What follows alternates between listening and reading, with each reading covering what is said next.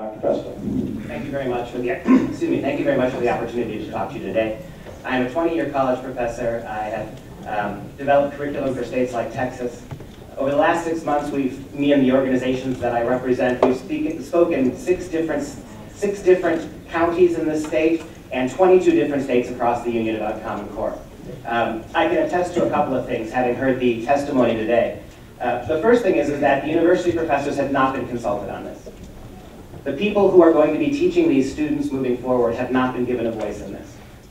And uh, there was a lot of consternation among the professors I've talked about, my colleagues in, in, in, different states as well, about these standards being put together without any input from us. I think Dr. Stotsky was right about that. The other thing I learned a little bit today uh, as an English professor is I thought I knew the definition of rigorous. Um, we seem to be getting really radically competing definitions of what rigor is. Um, I also agree, I'm going to tell you with Dr. Stotsky, having seen what I've seen. One of the things that I've done as a university professor and wondering why, by the time Wisconsin uh, kids get to me at college, they are in so many instances unprepared in reading and math. I'm a reading person. Uh, my kids don't read very well, and they get worse at it every year. I volunteered to teach uh, for two years, ending in May, in a local Oshkosh high school where I taught subjects like reading.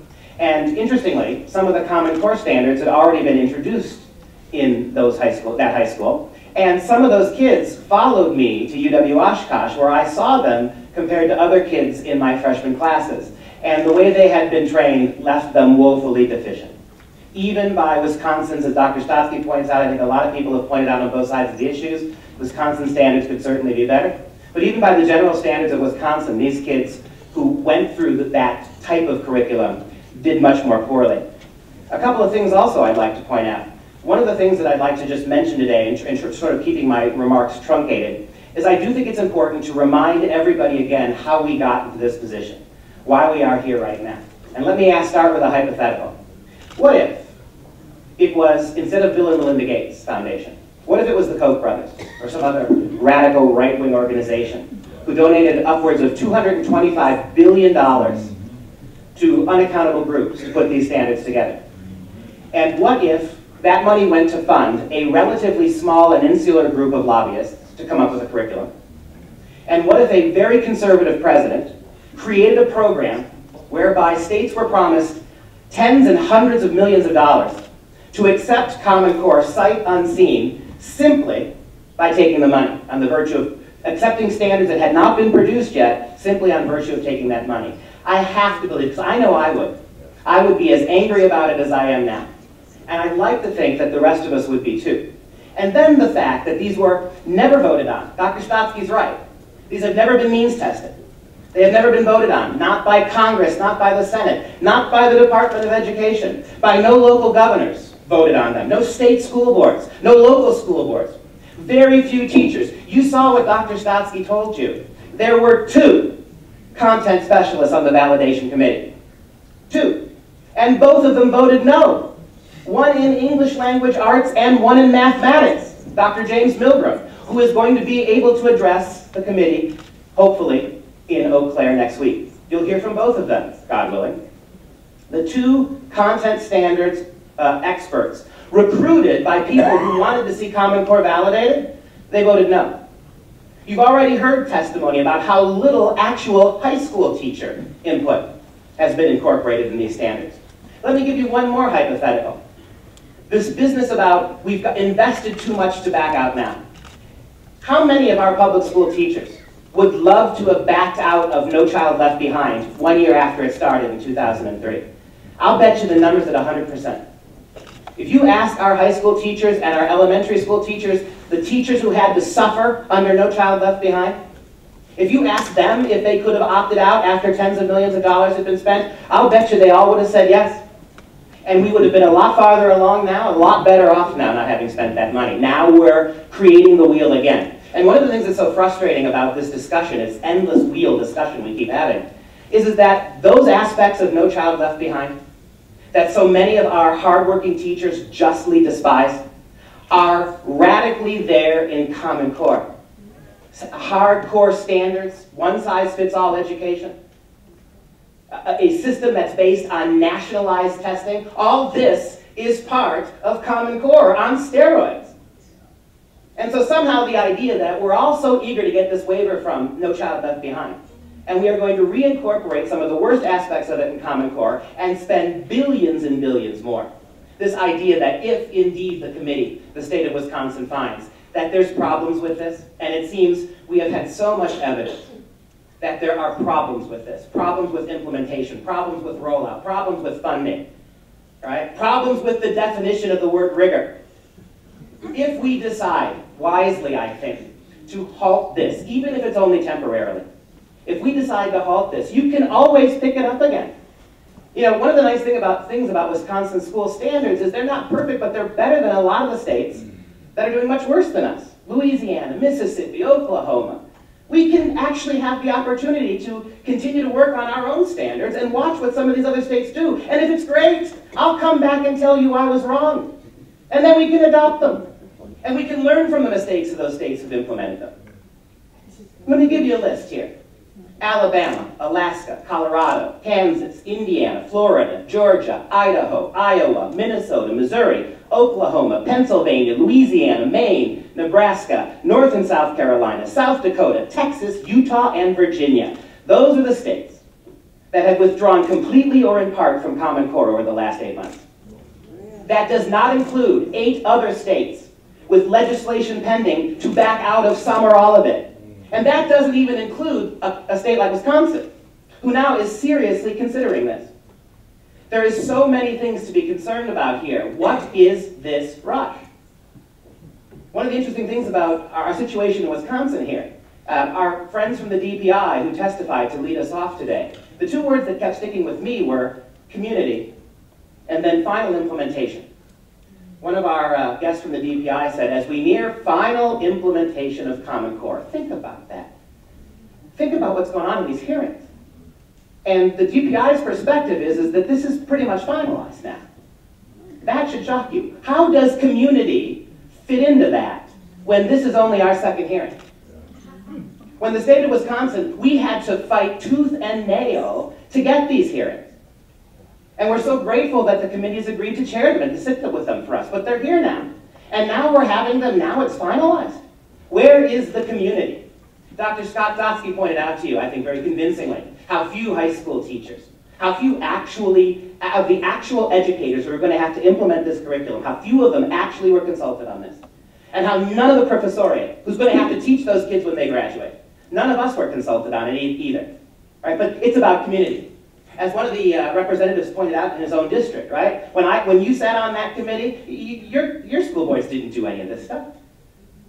This stuff is all, it really is decided by one man. Superintendent Tony Evers decided we're going to take this. And based on his testimony in Madison two weeks ago, he had kind of a difficult time answering really basic questions about benchmarking. We've heard that again too, right? We heard it from our last presenters as well, who are doing the wonderful work in the Fond du Lac schools. Internationally benchmarked. We now know that doesn't mean anything. Not when it comes to Common Core. These are serious problems. Bill Gates, the man who funded Common Core to the tune of a quarter billion dollars, said the following in an interview one month ago. The interview is in the Washington Post on September 13th. Bill Gates said, quote, it would be great if our education stuff worked, but we won't know that for probably a decade. If they're spending a quarter of a billion dollars to create them, and upwards of 16 billion initially to begin to implement them nationally, what do you think it's going to cost in 10 years when we decide whether they work or not? That's Bill Gates. How about Jason Zimba, who is the singular creator of the math standards? They're his pride and joy. He put them together. How about what Jason Zimba said? In an interview of February this year, he said, quote, with so many states now working toward the same goals, there should be an opportunity to gather more research data than we have been able to. The assessment consortia can also greatly enlarge our knowledge base about what does and doesn't matter for post-secondary success. So in the best view of this, he said, I think we're taking the first halting steps toward a functioning feedback loop with student achievement at its center. This is the man who created the math standards. We are only now beginning, after implementing it, to begin to take those first few tentative steps to understanding if it's going to work. It has never been tested. It has never been tried. And even those schools, those international schools they talk about, places like Hong Kong and Singapore, I mean, this is just flawed scientific experimentation.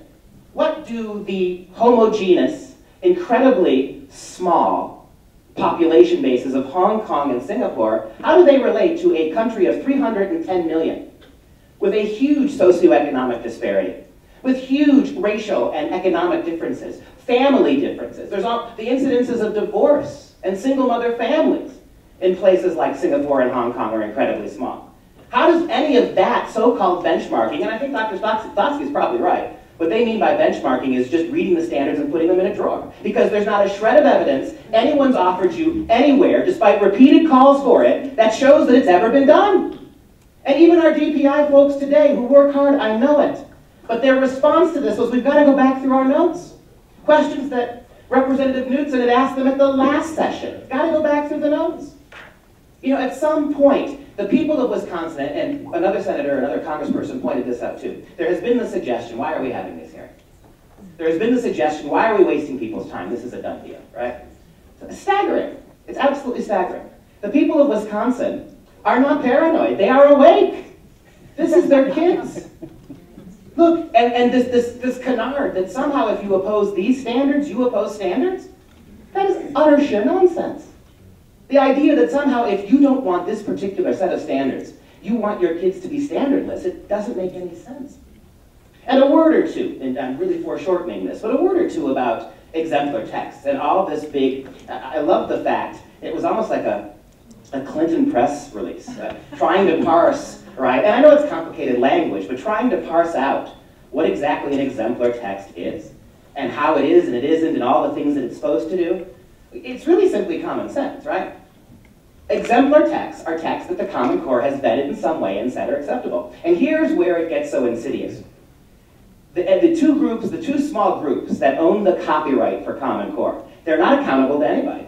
They're not accountable to the Secretary of Education, not accountable to Congress, the President. They're not, account they're not accountable to anybody. We have the curriculum, the standards for every single public school kid in this country in the possession of a very small group of people and copyrighted and underwritten by huge, big corporate donors.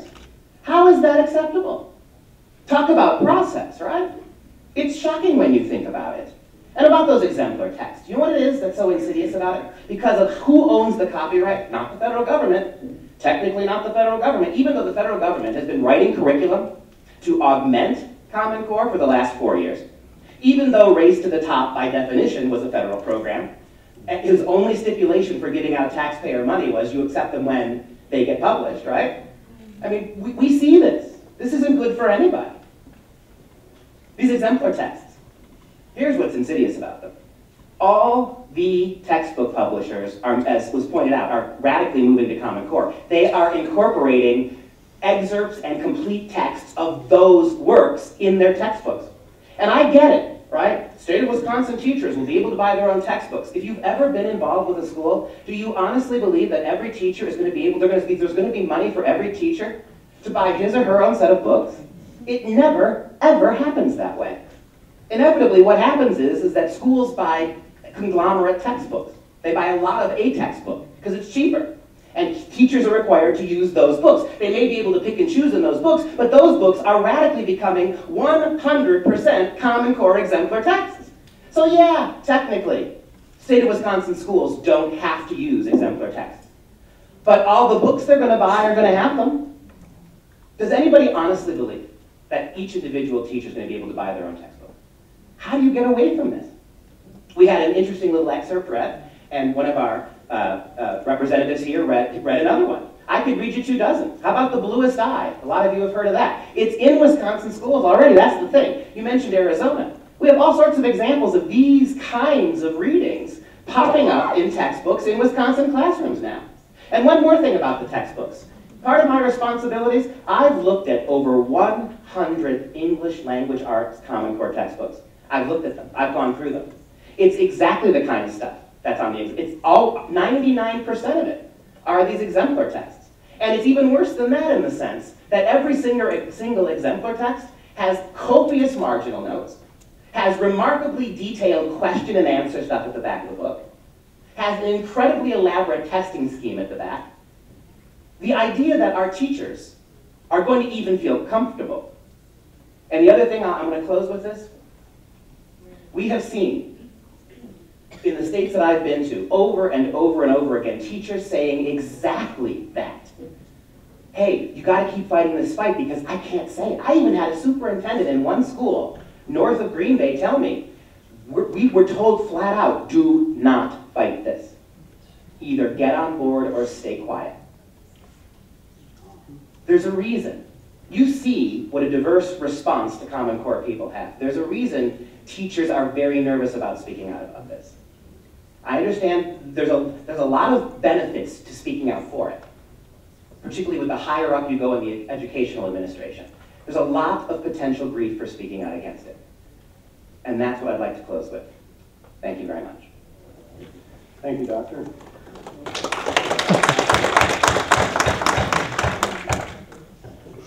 Anybody have any questions for the doctor before he scampers away? Senator DeLima.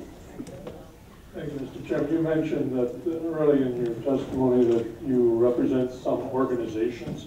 Could you just tell us about who you represent? Absolutely. I am a university professor for the University of Wisconsin, and I am an academic director for an online homeschool who put the curriculum together. That, and then it's that capacity that I've been exposed to lots and lots of textbooks. Actually, we have struggled to find textbooks that aren't Common Core, and particularly in language arts, you almost you can't find it.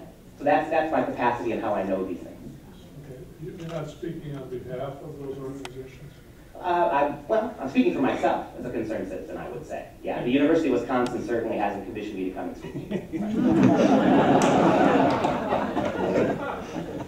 Representative Holt. Thank you, Mr. Chair.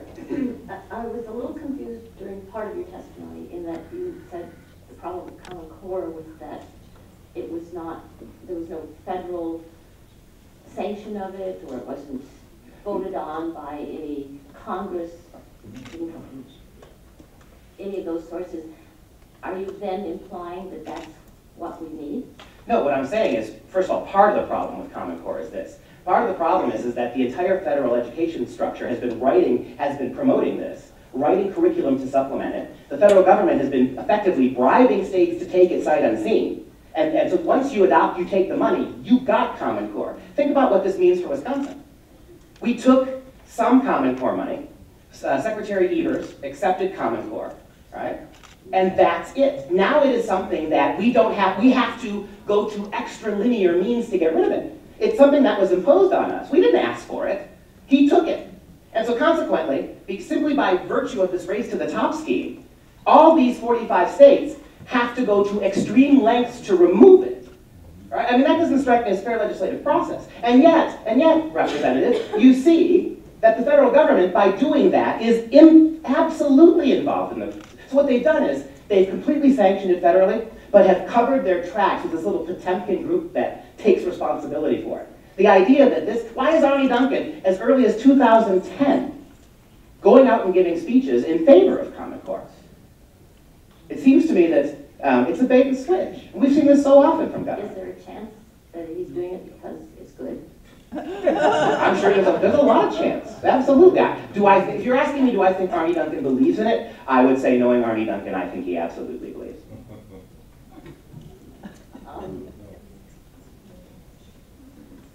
I have students in my district who attend as many as 15 different school districts. I have been inquiring, and I have yet to find anyone, teacher or administrator, who doesn't believe the Common Core state standards are good for their students, good for the state of Wisconsin. What am I to do with that information? Assume that they don't know what they're talking about? I'm not asking you to assume anything. I'm telling you what I know. And I would go one step further and say I could give you, if they would let me, two dozen names of teachers who don't. But they don't feel they can tell you that. Teachers in my district, I don't know what district you represent. the 80s. I, I don't know. Well, I, I rely on them to guide me, and so far, um, they would disagree with. You. Not all of them would. Not all of them would. The ones you talk to would.